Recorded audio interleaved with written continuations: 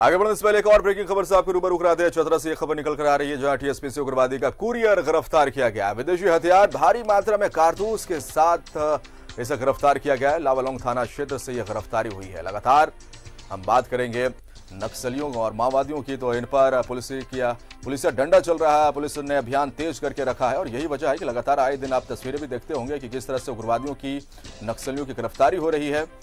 और कई ऐसे नक्सली है जो कि पुलिस के सामने आत्मसमर्पण भी कर रहे हैं। लेकिन फ़िलहाल जो खबर आपको दिखा रहे हैं छतरा से ब्रेकिंग खबर इसलिए क्योंकि टीएसपीसी उग्रवादी का कुरियर गिरफ़्तार किया गया है।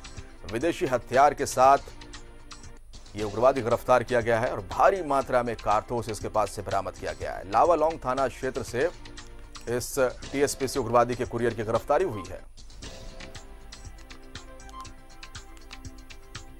तो टीएसपीसी उग्रवादी संगठन का ये कुरियर है, जिसे गिरफ़्तार किया गया। यानी कि ये टीएसपीसी उग्रवादी संगठन तक सामानों को पहुंचाता रहा होगा और उसे सूचनाएँ भी देता होगा, जिसकी गिरफ्तारी पुलिस ने की है। बताया जाता है विदेशी हथियार के साथ इस टीएसपीसी उग्रवादी के कुरियर को गिरफ़्तार किया गया है। रुक करेंगे। चतरा, हमारे संवाददाता संजय हमारे साथ फ़ोन लाइन पर है। संजय, लगातार टीएसपीसी की बात करें, उग्रवादियों की बात करें, नक्सलियों की बात करें पुलिसिया डंडा चल रहा है। पुलिस इनकी गिरफ्तारी करी और ताज़ा जो खबर हम तक पहुँची है, ये ताजी खबर टीएसपीसी उग्रवादी का कुरियर गिरफ़्तार हुआ है। विदेशी हथियार के साथ पूरी जानकारी चाहेंगे।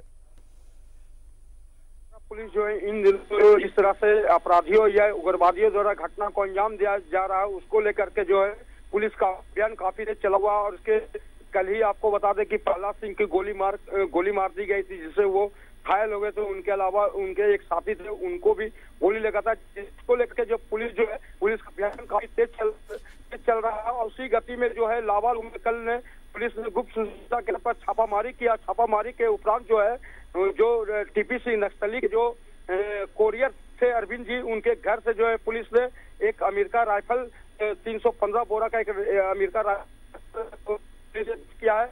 उसके अलावा है कि वहाँ जो ज़िंदा कारतूस छब्बीस गोली को पुलिस ने जब्त किया है और जिस तरह से नक्सली और और अपराधियों का तांडव जिस तरह से चतरा में देखा जा रहा है, उस पर अंकुश लगाने में पुलिस की यह छापामारी अभियान तेज हो गई है। संजय, जिस तरह से टीएसपीसी का उग्रवादी का ये कुरियर बताया जा रहा है, यानी कि खाद्य सामग्री और ज़रूरी सामान क्या ये कुरियर नक्सलियों तक पहुँचाने का काम करता था?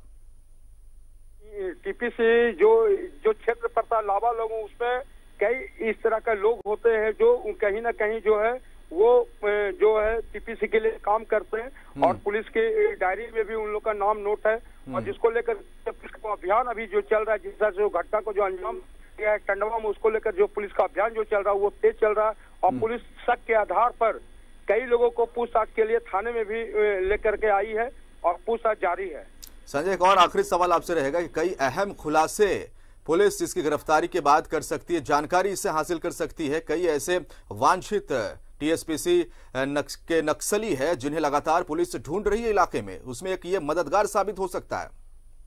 देखिए जिस तरह से पुलिस का अभियान तेज चल रहा है नक्सली में तो आतंक का माहौल है। उसके अलावा जो अपराधी में भी आतंक का माहौल है और जिस तरह से अभी पूछताछ चल रही है पूछताछ के बाद पुलिस को काफ़ी खुलासा होने की उम्मीद है। और जल्द से जल्द नक्सली या अपराधी पर अंकुश लगेगा। जी चलिए फ़िलहाल आपका बहुत बहुत शुक्रिया तमाम जानकारी के लिए संजय।